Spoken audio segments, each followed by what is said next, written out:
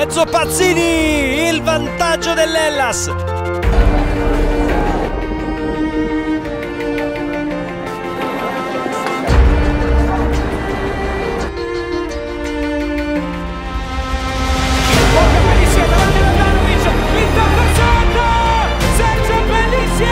Messi alla prova lo siamo stati.